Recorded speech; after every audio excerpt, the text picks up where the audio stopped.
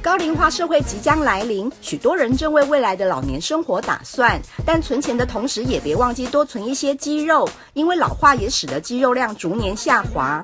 目前哈，我们在研究上啊，四十岁到七十岁之间，每十年大约会降低三到八 percent 的肌肉量。即使没有疾病的情况之下，也会这样子慢慢的降低。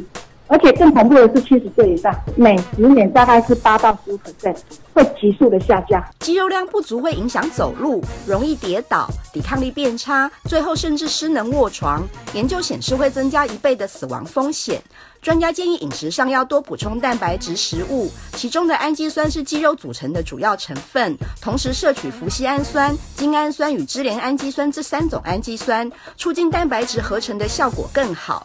除此之外，也建议六十五岁以上的银发族早晚要喝一杯牛奶补充钙质，千万不要怕胆固醇而不吃蛋、肉等等，只要把握适量摄取原则即可。东新闻台北报道。